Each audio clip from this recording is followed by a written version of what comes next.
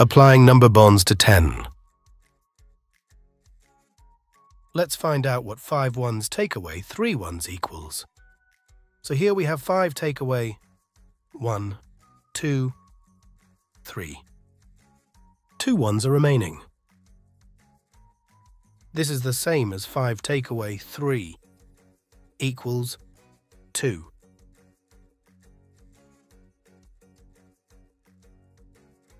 Now we have 50 take away 30 equals. You have 10, 20, 30, 40, 50, take away 10. 20, 30. Remainder 20. This is the same as 5 tens take away. 3 tens equals 2 tens. Let's see if you can answer these questions. 500 takeaway, 300 equals.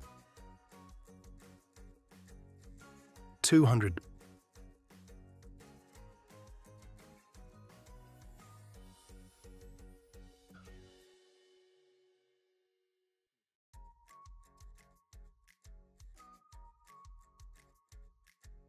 Now let's complete this part whole model. Count with me. One, two, three, four, five. Now I have one, two on this side. And now one, two, three on this side. Now the number facts we know are 2. Add 3 equals 5. 2 add 3 equals 5. Also 3 add 2 equals 5. We know the model is 5? Takeaway. 2 leaves us with 3. Again, 5 takeaway. 3 equals 2.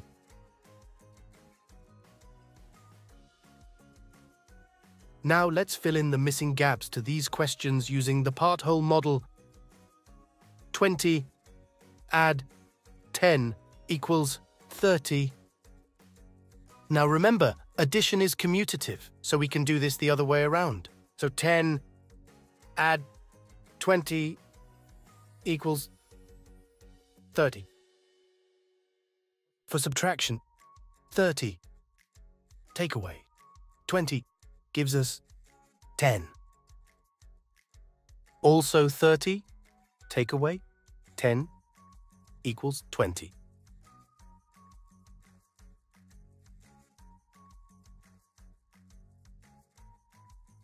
Have a go at answering these questions.